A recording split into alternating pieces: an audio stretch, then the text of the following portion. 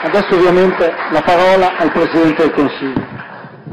Grazie Federico, grazie Sindaco, grazie Sindaci. Notare che i sindaci che hanno parlato sono le tre F. Federico, Filippo e Fabio, il sindaco di Parma, tra l'altro tre colori politici diversi, tre coalizioni diverse, ma quello che è straordinariamente bello quando si fa il sindaco è che nel rispetto delle opinioni politiche che ciascuno di noi ha, perché non abbiamo vinto un eh, concorso ma stiamo eh, svolgendo il nostro ruolo chiamati ed eletti dai cittadini, c'è però la convinzione che si opera per il bene comune, quello che poi ha detto Greci e che ha ripetuto Gabriele al termine del suo intervento. Io cercherò di essere molto operativo e sintetico nelle considerazioni che voglio fare, ringraziando di nuovo Pizzarotti per eh, l'accoglienza, ringraziando il Comune di Parma, il Prefetto di Parma, i parlamentari presenti e tutte le eh, persone che hanno reso possibile questo momento. Noi abbiamo eh, scelto di fare una serie di passaggi nella provincia di Parma per dare innanzitutto attenzione ai temi del lavoro. Eh, siamo partiti da qui, perché oggi questa è la priorità. Noi siamo in un momento nel quale la difficoltà sul lavoro è una difficoltà che voi conoscete benissimo. Dove va un cittadino che perde il posto di lavoro? Ha ragione Federico, ha ragione Filippo, ha ragione Fabio, non è che va su internet, va in comune e chi becca becca il sindaco specie nei comuni più piccoli. A me fatto, faceva ridere quando c'era la stagione dei tecnici, no? E da sindaco di una grande città, comunque c'è una grande città, media città numericamente per il mondo, ma grande città per l'Italia e anche per la sua storia, io comunque avevo stuoli di tecnici, di funzionari, io immagino un sindaco, vengo da un comune piccolo, eh, di 3.000, 4.000, 5.000 abitanti, non è che c'ha, dice no guardi parli con il direttore generale che in questo momento ecco, va diretto, apre la porta, entra dentro e voi lo sapete. E allora nella stagione dei tecnici spesso mi è venuto da dire che i veri tecnici sono i sindaci, che sono quelli in prima linea, in prima fila e se le beccano di tutti i colori, e che però sono anche in qualche misura il punto di riferimento di una comunità. Eh, I sindaci del terremoto, per restare in questa regione, hanno fatto gli psicologi della comunità, oltre che quelli che si dovevano occupare di burocrazia. E tutti voi sapete perfettamente che oggi la priorità si è un po' attenuata la, ehm, il, si è bloccata l'emorragia, ma la priorità continua ad essere assolutamente il lavoro. 937.000 posti di lavoro persi in sei anni, da aprile 2008 a aprile 2014. È una cifra pazzesca, spaventosa. È milione, poco, un, poco meno di un milione di posti di lavoro, ma in meno. E il fatto che in questi ultimi sei mesi si sia interrotta l'emorragia, anzi la curva sia tornata a crescere, non significa niente perché 153.000 a fronte di 937 sono un passo in avanti, ma diciamocelo tra di noi, tra di noi, diciamoci la verità, ancora tutt'altro che sufficiente. Quindi l'idea è stata quella, andiamo in aziende in realtà dove comunque si possono vedere dei risultati, dove si possono incoraggiare le lavoratrici, i lavoratori, le imprenditrici, gli imprenditori, anche perché bisogna superarla con questa storia che nelle aziende le imprese sono contro i lavoratori, i lavoratori sono contro gli imprenditori. Eh, noi siamo in un momento in cui è corretto che ci sia un dibattito fuori, che ci siano polemiche, tensioni, critica al governo, questo è tutto legittimo perché siamo in democrazia, fortunatamente, però non si deve dividere tra chi lavora, oggi di, di, di un giornalista dall'Ara mi ha chiesto ma lei cosa pensa qui imprenditori contro operai, ma di che stiamo parlando? Quando poi sei in azienda, quanti sono gli imprenditori che si sono spaccati la schiena per consentire a, di, di non perdere neanche un posto di lavoro e quanti lavoratori hanno lavorato ben oltre l'orario di lavoro indipendentemente dalla retribuzione perché l'azienda andasse avanti.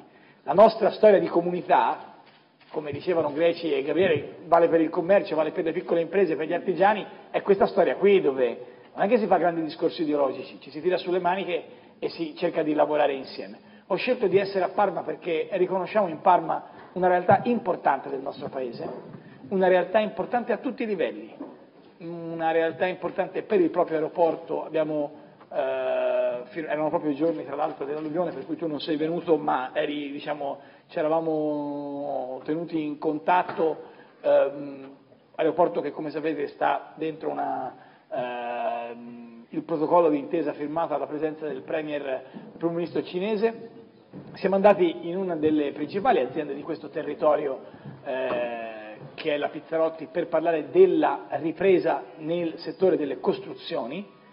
Eh, considerate che del milione di posti di lavoro perso, dei 937 mila, più di mezzo milione è nel settore costruzione indotto.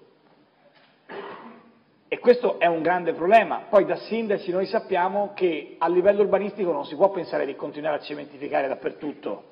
Bisogna intervenire sul recupero, sul riuso, sulla possibilità magari anche di superare certi vincoli che ci sono, assurdi, ci arrivo Fabio, ma dei vincoli che consentano, come succede in tante parti del mondo, se vuoi buttare giù e ricostruire, magari con un'efficienza energetica degna di questo nome, senza andare a dire A, A che sono cose incomprensibili, ma dando, come fanno in, in larga parte del mondo, il, quanto risparmi se fai l'efficienza energetica in casa tua, quanto riesci a recuperare di bolletta, questo fanno nel Regno Unito o negli Stati Uniti per dimostrare quanto è importante un investimento su questo settore, bene, il rilancio dell'urbanistica passa sicuramente dallo sblocco di alcuni cantieri di politica nazionale, e questa è la filosofia dello sblocca Italia, poi a qualcuno piace, a qualcuno no, è naturale eh, che, che, questo accada. La filosofia è quella del portare investimenti all'estero, perché è evidente che nel momento in cui alcune aziende vanno forte anche all'estero, sono in grado poi di investire in Italia. Io ho incontrato, girando per eh, questi primi nove mesi, diversi paesi del mondo, tantissime aziende che con l'utile che fanno all'estero riescono a tenere in piedi realtà italiane. Divido tra chi va a delocalizzare per abbassare eh, semplicemente i costi e chi fa investimenti all'estero perché consente di tenere in piedi realtà in Italia. Ce ne sono diverse, ve lo garantisco, e ci sono tanti business, perché nel mondo c'è una grandissima fame d'Italia. Siamo noi che ci ricordiamo e ci ricamiamo sopra un racconto di noi stessi che è un racconto da macchietta. Cioè noi abbiamo un sacco di problemi e lo sappiamo, poi ci arriverò nel dettaglio molto rapidamente e spero di essere super sintetico. Abbiamo un sacco di problemi, lo sappiamo. Però il racconto da macchietta che facciamo dell'Italia, tipico da talk show serale televisivo, musichina, tutti vanno via, tutti i cervelli all'estero, in Italia siamo al 227 posto su 200 paesi peraltro, in, in tutte le graduatorie, perdiamo posizioni ovunque. Non è così. Abbiamo molti problemi, ma abbiamo anche straordinarie aziende, straordinarie eh, eh, imprese, straordinari lavoratori, straordinarie opportunità di territorio, perché se voi mettete insieme le qualità che per esempio a Parma, dall'agroalimentare all'innovazione, alla cultura, alla bellezza del vivere, noi dobbiamo smettere di pensare che il nostro racconto esterno sia soltanto un racconto fatto di lamentazioni eh, da tragedia greca. Dobbiamo affrontare i problemi che ci sono, perché negare e buttare i problemi sotto, nascondere la polvere sotto il tappeto, no, ci sono tanti problemi, vanno affrontati, però io parto dalle aziende per dire guardate che ce la possiamo fare. Anche perché giri per il mondo ti dicono, ultimo questa mattina ho incontrato il Presidente della Repubblica del Senegal, ma sono stato dal Turkmenistan al Vietnam fino naturalmente alla Cina o agli Stati Uniti, quello che noi vi invidiamo non ci invidiano soltanto i quadri o la bellezza dei nostri luoghi, ci invidiano la qualità dei nostri ingegneri. E ho provato un grande senso di orgoglio quando sono entrato alla Dallara oggi, pensando che quella realtà è una delle realtà più innovative, non soltanto della vostra provincia, una realtà nella quale si corre un gran premio che non è soltanto il gran premio delle auto, ma che è il gran premio dell'innovazione. Ed è strepitoso che ci siano realtà in questo modo. Non ho visto la Chiesi, Chiesi non c'era, ma li ho incontrati eh, a, a Roma a proposito di altra realtà innovativa. Dopo andiamo da Barilla, e chiedo scusa a quelli che non cito, non posso fare l'elenco, per dirvi che soltanto nella vostra realtà in mezzo pomeriggio ho visto un sacco di belle storie e probabilmente se cercassi ciascuno di voi mi racconterebbe, eh, caspita però se venivi nel mio comune ti facevo incontrare dal piccolo, dalla piccola realtà magari la, la, media azienda che sta innovando, investendo. Promesso a Dallara che torno se lui costruisce il centro ricerca con alcune assunzioni che farà per eh, il prossimo anno. Ecco, questo è il quadro del ragionamento, che è poi la bellezza del nostro stare insieme. Lei ci diceva giustamente, noi siamo orgogliosi del nostro quartiere. Eh, io da sindaco regalavo sempre un librettino che si chiama Il Napoleone di Notting Hill, che è un librettino di Chesterton, dove c'è un sindaco pazzo, scatenato pazzo, eh, che eh, difende, si, si mette in testa di essere il sindaco del suo quartiere, anche se il suo quartiere non è una municipalità e questo sindaco ama quel territorio, no, state dicendo che è lui, no? Eh, c'è un concorrente, no, però glielo mando, lo, lo, lo mando al sindaco, è, è bellissimo, è un racconto ovviamente è racconto di Chesterton, quindi è scritto come potete immaginare, comunque qualsiasi eh, mh, racconto che io vi possa fare è riduttivo rispetto alla bellezza del, del, dell'opera. Ebbene, in questo, in questo racconto c'è l'idea di una comunità che sente grandioso l'idea dello stare assieme, per il quale addirittura si combatte, in quel caso il sindaco va a finire male, non vi dico il finale, ma evitiamo di, di tanto non è un giallo, però il punto centrale è esattamente questo, noi siamo una comunità, la comunità italiana, voi siete la comunità, poi ho capito la differenza tra parmense e parmigiano, quindi sono anche abbastanza eh, con un po' di sforzo, siete una comunità e come tale avete tante realtà straordinariamente importanti e significative. Ah, va tutto bene Madama la Marchesa? No, i problemi ci sono, provo a elencarli, anche quelli che, abbiamo, che non abbiamo risolto noi o se qualcuno può preferire abbiamo creato noi, ce ne sono diversi, eh, partirei dalle cose che, che, che, diceva Filippo, che sono molto contento che si sia presentato come sindaco, non perché abbia qualcosa contro le province o perché ricordi una campagna elettorale eh, di, di quando era due anni fa ormai, l'anno scorso, no, cambiata la vita, sì. Eh, ehm, no, un anno fa no, erano due anni.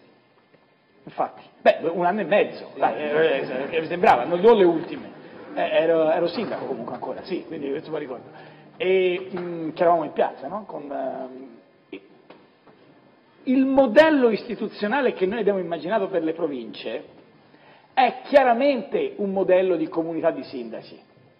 Poi in Parlamento è venuto fuori una piccola variante per cui, lo dico con rispetto, sono tutti consiglieri comunali. Io personalmente, come sapete, preferivo il modello ANCI iniziale, ricorderete che era quello che i sindaci sono di per sé il Consiglio provinciale e come tale sono un'assemblea che ha o il, eh, un sindaco tra di loro o il eh, comune capoluogo, c'erano due varianti, ma comunque i sindaci. Poco importa. La sintesi è che non possiamo immaginare che le province tornino ad avere il significato e la forza che avevano prima con l'elezione diretta perché devono essere una sorta di ente di secondo livello. Poi mi dirai, e mi direte, sì, però i soldi ci vogliono per le strade e per le scuole. Giusto, corretto, per le strade e per le scuole. Io ho fatto anche il presidente della provincia, 9 miliardi e 4 era il budget complessivo delle province nel 2013. È diventato 9 miliardi, ci metto anche la spesa eh, investimenti, è diventato 9 miliardi nel 2014 con il decreto legge 66, quello dei tagli alla politica, dei tagli degli 80 euro, cioè quello di, di, di marzo noi abbiamo detto, siccome vi togliamo delle competenze, andiamo a togliere anche un tot di soldi e un tot di personale. Il personale deve per forza andare in altre, perché poi licenziare, quindi il personale lo sposti. Come? Lo sposti agevolando, ci saranno norme anche in stabilità su questo, il passaggio di personale dalle province ad altre istituzioni. Se dobbiamo prendere dei cancellieri per la giustizia, iniziamo a prendere gli amministrativi delle province. Però non puoi nemmeno immaginare che con un ente che diventa di secondo livello rimanga la stessa macchina della provincia di prima. Perché a me è capitato, lo dico così parlo e mi scuserete 10 nanosecondi con l'altra giacchetta, è capitato diciamo, nella veste di segretario di partito ricevere sms dai miei abbiamo ripreso la provincia di Vatte la Pesca Terme. Eh, non è che hai ripreso quella provincia, perché non è che hai fatto un voto popolare per cui il presidente della provincia ha la stessa forza del presidente della provincia eletto direttamente. Il presidente della provincia guida una comunità di colleghi, cambia deve intervenire su 1400 km, quanto Filippo?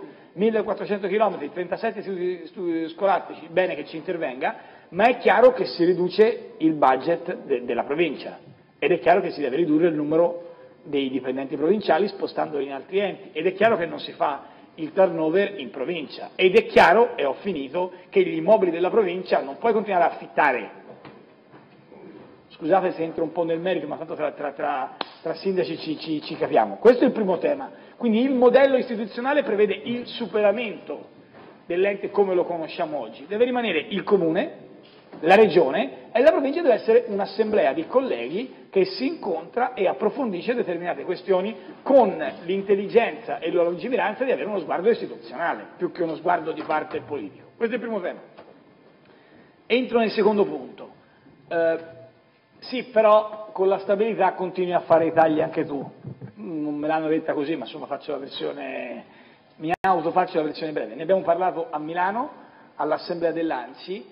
Noi è evidente che dobbiamo entrare nella logica in cui lo Stato deve dimagrire. Lo Stato, Roma. Questo significa, ne parlavo a Milano, non ve la faccio lunga perché non sono qui a farvi l'elenco delle cose che stiamo facendo, però è un lavoro difficilissimo, lo sanno i vostri rappresentanti in Parlamento, di semplificazione.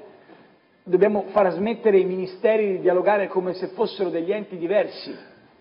Una delle cose che ho chiesto di mettere in stabilità, stiamo lavorando all'emendamento, eh, lo sa Pagliari perché ne, ne, lo presenteremo al Senato, è quella di mettere delle norme per cui, per esempio, dai siti internet all'informatica, tu vieni da, da, da un'esperienza informatica, no Federico? Da, da, dall'informazione all'informatica si centralizza a livello di governo la spesa. Sapete quanto risparmiamo? Se voi guardate quanto mettono i singoli, soft, i singoli ministeri sui software che acquistano, sui contratti che hanno, pazzesco.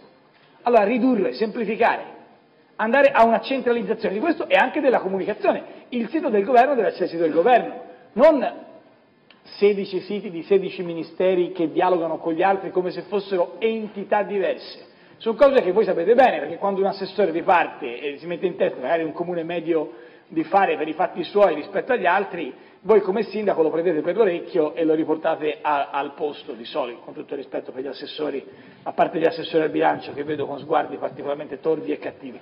Però il, il punto è questo qua, cioè il meccanismo e il modello di semplificazione di centro. Quindi noi questa parte la stiamo facendo, però anche le realtà locali che hanno contribuito fin troppo, fin troppo no, beh sì, abbastanza in passato, devono essere messe nelle condizioni di avere uno scambio. Lo scambio che vi proponiamo è questo. Da un lato anche i comuni fanno parte di questo percorso come hanno fatto in passato.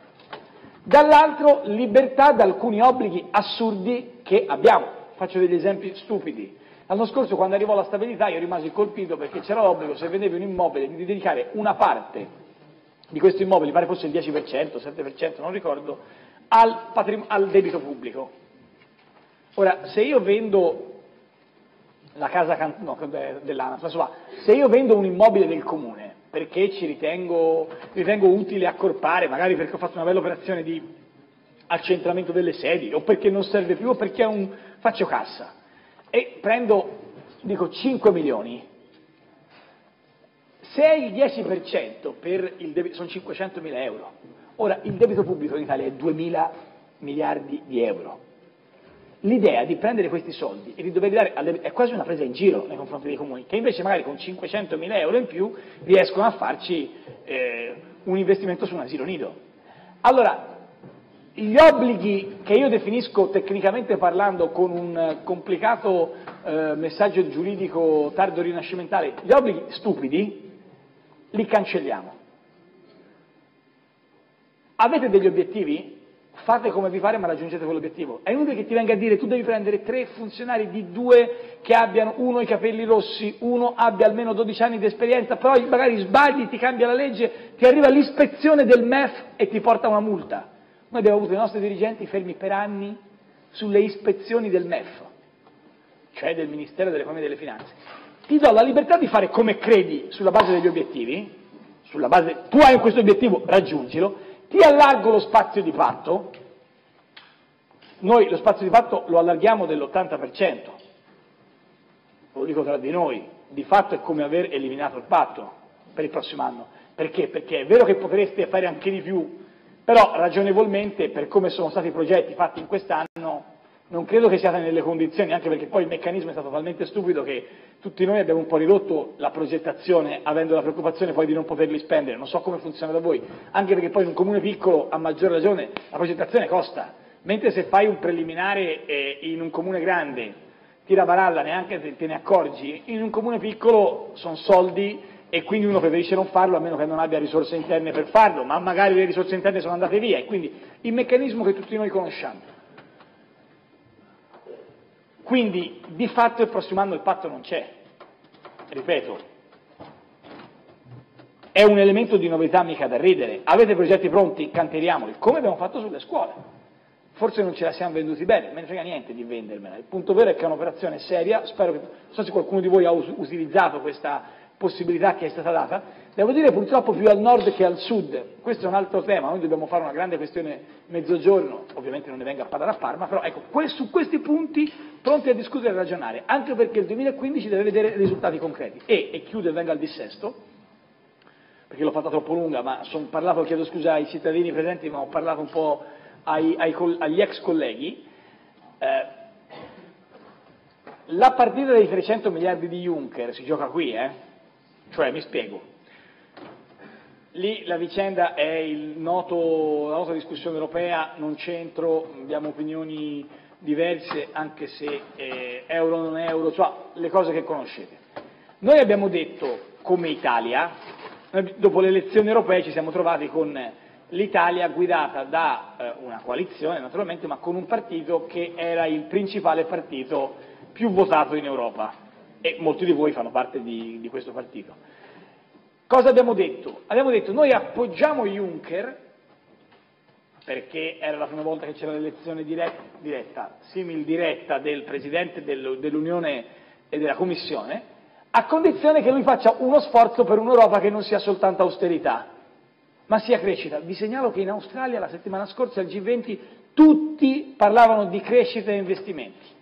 Dopo che per anni ci siamo beccati la storia, rigore, rigore, austerità, rigore noi bene, giusto, dobbiamo stare attenti ai conti, dobbiamo tenere in ordine per rispetto, tutto quello che si vuole, però il punto centrale è che se finalmente questa storia degli investimenti va in porto, e lo vediamo martedì prossimo, mercoledì, che c'è la riunione della Commissione su questi temi, al di là delle modalità attraverso le quali si finanziano gli investimenti, che saranno in parte pubbliche e in parte spero anche di attrazione di investimenti privati, il punto centrale è che questi denari non vadano sul, a incidere sui vincoli. Perché se tu hai, faccio un esempio, un miliardo di investimento nelle scuole, ne servono tre, tre e mezzo in Italia per fare un capolavoro, se tu metti un po' di soldi sulla banda larga, c'è il piano banda ultra larga che il governo sta presentando in queste ore, se li metti sul dissesto idrogeologico, adesso ci arrivo, e consenti a chi fa questi investimenti di stare dentro le regole ma fuori dai vincoli, cioè questi denari qui riesci a toglierli dai limiti della, della, mh, mm, dei vincoli europei, già abbiamo fatto un passo in avanti mica da ridere. Perché se voi immaginate di poter mettere quanto? Una decina, 15 miliardi su sta roba qua senza vincoli, è chiaro che per tutti noi è un elemento di, di, di grande novità. Bisogna però, e su questo è importantissimo il lavoro che eh, stiamo facendo in questo momento al Senato, proprio Pagliari e il relatore, fare un grande lavoro sulla pubblica amministrazione per evitare che se si va in conferenza dei servizi lo Stato ci venga con 28 realtà diverse. Cioè, oggi tu vai in conferenza dei servizi e da questa provincia qui può cercare di fare un lavoro di dialogo tra colleghi, maggiore di prima. Cioè, c'è da, da sistemare la, la, la cassa d'espansione, difficilmente i, i, sindaci sono in posizioni diverse su questo. Però magari c'è, la provincia può aiutare in questo senso, ma è lo Stato che non si può presentare con la sovrintendenza che dice una cosa, con i vigili del fuoco che ne dicono un altro, con la struttura di, di, di, di controllo dell'Inps che ne dice un altro ancora, con tutta una serie di soggetti che dicono cose diverse. In qui, prefetto, l'ufficio territoriale di governo deve svolgere un ruolo di coordinamento e alla conferenza dei servizi lo Stato deve parlare con una voce sola. Anche questa è la rivoluzione che dobbiamo fare, che stiamo impostando e alla quale sono certo arriveremo in un tempo, nel caso della PA c'è un problema di delega, ma insomma non credo eh, calende greche rimane il punto del dissesto idrogeologico. Voi sapete che appena arrivato noi abbiamo messo il, ehm, due cose, l'unità di missione sulla scuola con le cose che abbiamo ricordato prima e l'unità di missione sui cantieri per il dissesto idrogeologico. Oggi vediamo che questa cosa non era così banale come sembrava, perché abbiamo iniziato ma ancora c'è moltissimo da fare come purtroppo avete avuto modo anche di verificare voi. Poi c'è una parte di, di, di, di calamità che, perché questo deve essere anche detto, c'è una parte di, in, tutto, in tutta Europa ci sono le calamità naturali e le alluvioni.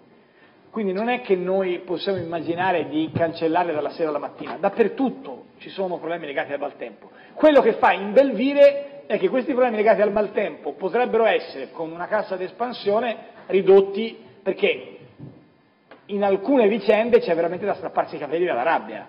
Eh, penso a, ovviamente ai commercianti che magari vedono, io ho in mente, ho visto una signora a Genova, mh, vista soltanto come, dire, come, come, messaggio, ma insomma aveva rifatto il, il, non so se era un bar, una pizzeria mi sembra, ha rifatto la pizzeria dopo che era stata eh, nello stesso pe, mh, pezzo di Bisagno eh, nel 2011 eh, alluvionata, fa, fa il mutuo e dopo tre, tre anni nello stesso identico modo, lo stesso questo no, questa non è calamità, questo è un problema vero che noi dobbiamo assolutamente, che le realtà locali, e noi siamo disponibili, deve assolutamente fare. Allora, sul dissesto idrogeologico noi abbiamo dei fondi avanzati da sbloccare immediatamente per un miliardo di euro per 69 interventi nelle aree metropolitane con il progetto Città Sicura. I fondi vengono dal piano di prevenzione e dallo sblocca Italia. Metteremo, questa è una cosa importantissima, online, in modo chiaro, leggibile, tutte le spese, per capire anche i SAL, gli stati di avanzamento lavori, cioè tutto deve essere chiaro, tutto deve essere verificabile. Io vedo che nell'opera pubblica del, ho detto il Bisagno, mm, per non parlare di, di realtà parmense o parmigiane, e, mappa di georeferenziazione di tutti gli interventi, monitoraggio costante di tutti gli interventi, quindi trasparenza, il sito sarà italiasicura.governo.it. Il punto centrale è che i bandi di gara e qui sta la questione della pubblica amministrazione, in prospettiva dovremmo arrivare al bando di gara con il click, cioè tu c'hai il giorno della gara, in prospettiva, 23 marzo c'è la gara, c'è uno standard di, di, di, gara e il 23 marzo pomeriggio è aggiudicato alla Tizio, al Caio, e si smette di far lavorare gli avvocati, perché negli appalti pubblici in Italia lavorano più gli avvocati che non, che non i manovali.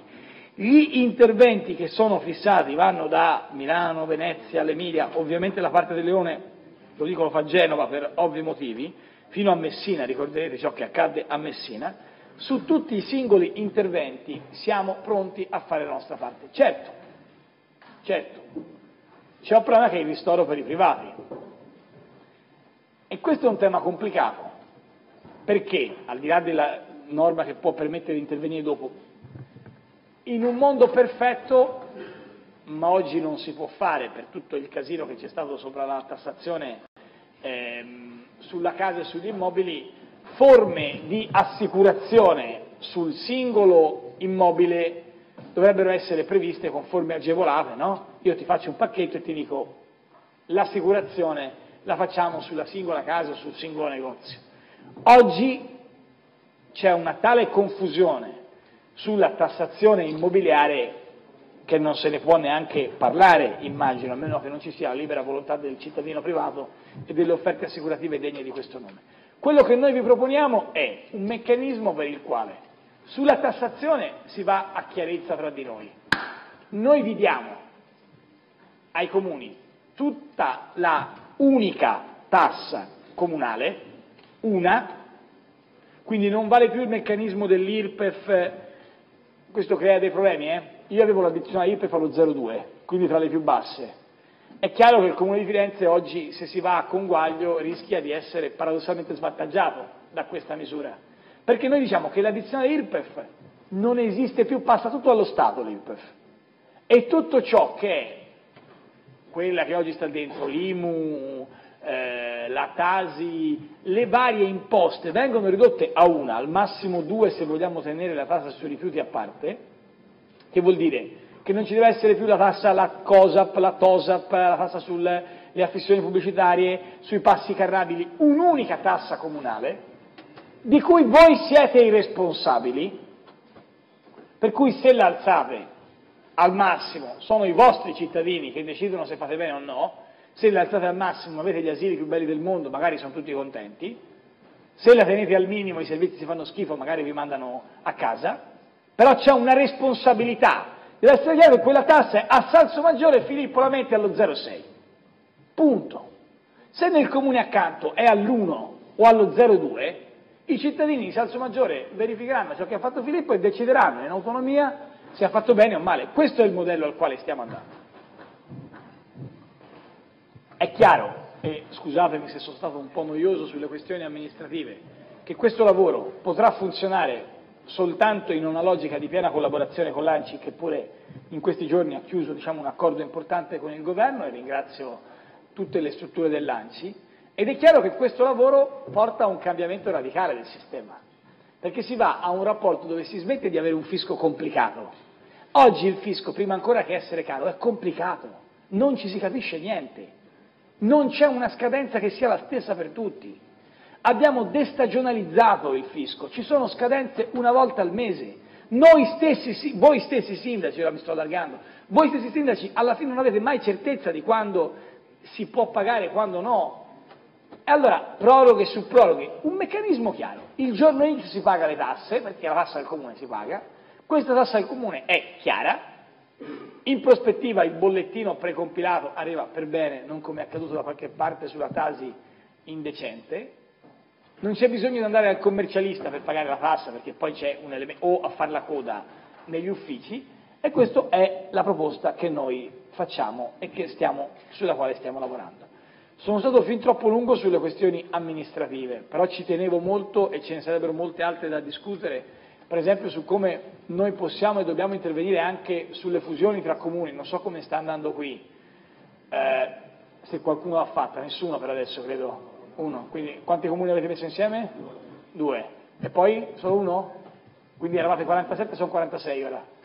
Eh, dove, non so com'è la tua esperienza, dove si stanno facendo, ve lo voglio dire perché anch'io non ci credevo molto, funzionano. Poi immaginate da noi fiorentini, dove quello fiorentino di sopra e fiorentino di sotto, Guelfi e Ghibellini, quando alla fine i Guelfi hanno vinto, i Guelfi si sono rimessi a litigare, i Guelfi bianchi e i Guelfi neri per continuare a tenersi in esercizio e, e quindi noi quando mi hanno detto che Scarperia e San Piero Assieve o Figline Incisa si mettevano insieme, ho detto, ma speriamo bene. E invece le cose stanno funzionando un po' in tutta Italia, anche qui purtroppo quasi tutto al centro-nord.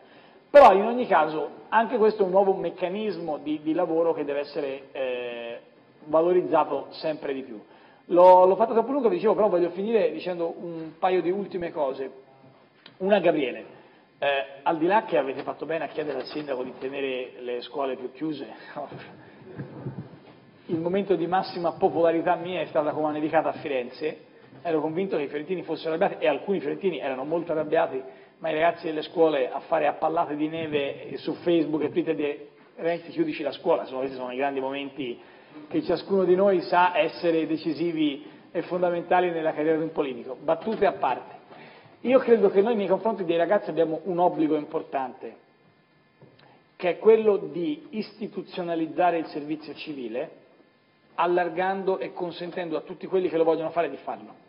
È una riforma che non si fila nessuno, anche domani non troverete neanche un trafiletto su sta roba, è una riforma sulla quale abbiamo non soltanto aumentato i soldi per il terzo settore, 500 milioni di euro contro i 400 per il 5 per 1000, no? Abbiamo anche messo le risorse per fare finalmente per chi lo vuole, anche deve essere obbligatorio, ma universale sì. Se oggi uno vuole fare il servizio civile non lo può fare se non è dentro i numeri. Questo passaggio sul servizio civile è una idea molto importante, perché dà il messaggio della comunità da cui sono partito, da cui voi siete partiti, da cui è partito dal sindaco, dai sindaci fino all'intervento di Greci. Ecco, questo è un argomento al quale veramente vorrei eh, dedicare la chiusura, perché? Perché tutti voi con la vostra fascia hai fatto benissimo a metterti quella bianca, verde, rossa, anche per quella blu. No, io lo, non so quanti di voi hanno fatto i presidenti della provincia, siamo in due. No, non c'è partita tra quella tricolore e quella blu, eh, non, non, so, è come il prosciutto di Parma e eh, di culate sì, ok, giustamente. No, ecco, questa battuta sul toscano potevate risparmiarvela. Eh, comunque, vabbè, faccio, non l'ho sentito. Però il punto centrale a meno che non si dica, lasciamo stare, Eh, il punto centrale che voglio dirvi è esattamente questo. La vostra fascia tricolore è il, diciamo, il simbolo del, di, di, un popolo.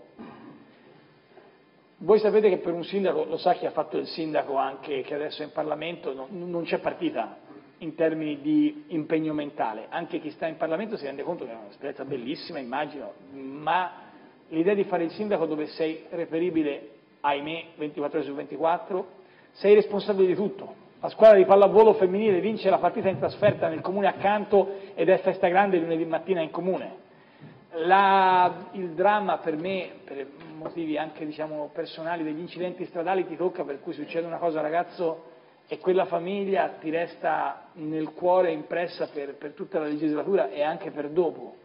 Eh, la, un ragazzo della scuola vince le Olimpiadi di matematica o se volete un, una realtà del volontariato riesce a far vedere un progetto per cui un ragazzino down eh, dimostra eh, straordinariamente la, la, sua forza e la sua straordinaria bellezza. Quante esperienze che tutti noi conosciamo, potremmo andare avanti per una giornata e, e tutti, ciascuno di noi potrebbe portare una cosa bella e anche un problema.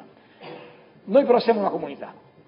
E allora quello che io vi propongo, indipendentemente dal colore politico, è cercare di risolvere i problemi puntuali, noi siamo disponibili, qui trovate sindaci di colori diversi, lo dico ai giornalisti, questi sindaci rappresentano coalizioni diverse, ma come sindaci e come rappresentanti di questa fascia tricolore vi chiedo dal profondo del cuore di continuare a credere nel fatto che l'Italia ce la possa fare, se ci sono delle cose da cambiare, io per primo sono disponibile a cambiarle, ma vi prego facciamolo insieme e non cediamo al piagnisteo, alla rassegnazione, alla lamentazione, perché chi vuol far cedere l'Italia oggi è chi pensa che l'Italia non abbia futuro. E io in questa terra che è ricca di passato voglio dirvi invece che il momento migliore deve ancora arrivare. Per cui di cuore in bocca al lupo per il vostro servizio e grazie per la vostra accoglienza e grazie Federico per la tua accoglienza qua. In bocca al lupo!